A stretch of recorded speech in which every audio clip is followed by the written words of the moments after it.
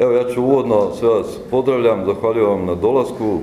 Imamo jednu temu koja je dosta prisutna u javnosti i mislim da je e, red da i sa pozicije Hrvatske demokratske zajednice uputimo jedan komentar na ovo divljaštvo koje se jučer dogodilo u Saboru, koje je upriličio dio oporbe, dio oporbe i nadamo se da je to što se jučer dogodilo u Saboru otvorilo oči hrvatskoj javnosti da vidi ko im se nudi za spasitelje, ko su ti ljudi i što od njih mogu očekivati.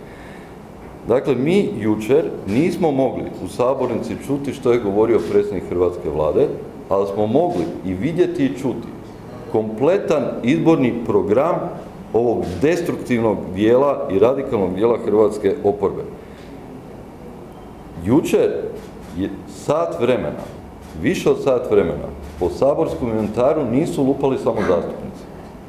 Molim vas obratite na to pozornost. Jučer su po saborskom inventaru više od sat vremena lupali svi oporbeni kandidati za premijera. Jučer je u Saboru više od sat vremena udaralo po saborskim klupama barem desetak potencijalnih i vonabi ministara u toj nekoj budućoj oporbenoj vladi koji se za te funkcije pripremaju. Dakle, zamislite vladu. Možete li zamisliti vladu koja funkcionira po ovom principu? Pazite, Grbin, ajmo reći da Grbin predsjeda tom vladom, Grbin koji inače jučer rekao za predsjednika vlade Andreja Plenkovića da je jadničak. Grbin nije jadničak. Grbinova stranka je jadna obzirom na to kako ju Grbin vodi, ali to su njihova posla. Grbin je momčina od 2 metra i 10 cm, Grbin je gorostas političke misli, apolom političke scene, ciceron javne riječi, koji je jučer sve svoje talente upotrijebio i svu svoju političku pamet da ubije socijaldemokratsku partiju koju vodi. Ubije. Da ubije sve one koji su razmišljali o tome da im možda da glas. Nakon što im je ponudio još tri oko vrata, jučer im je, kako on to kaže, figurativno pokazao srednji prst. I sad zamislite ovo. Peđa Grbin vodi hrvatsku vladu, Benčić i Grmoja udaraju po stolu jer misle da im je trebao dati riječ. Pa u toj hrvatskoj vladi bi ministar koji duže i snažnije udara po stolu imao veći proračun. To je ono što nama oporba nudi.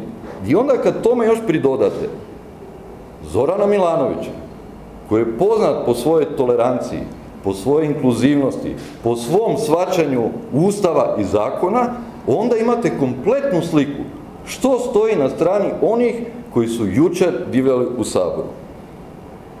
Reći ću još samo uvodno na kraju. Gledao sam gotovo sve analize i komentare analitičara jučer i danas na ovu temu. Raspravljaju o scenarijima koje je oporba imala za ovu točku dnevnog reda. Ja sam ih proučio. Svi su destruktivni. Svi su destruktivni. Od, od scenarija da se zlouporabom prava hrvatskog zastupnika da traži stanku u ime kluba, koja se traži da bi se klub, jer još nema definirano stajalište, međusobno konzultirao da bi donio stajalište, da se time u nedogled odgađa početak ove rasprave. Do zlouporabe instituta povrede poslovnika, do dobacivanja u klupa, pa i ovog što se dogodilo, znači svi oporbeni scenariji koji su bili pripremljeni uoči ove rasprave su bili destruktivni. I to nije politika.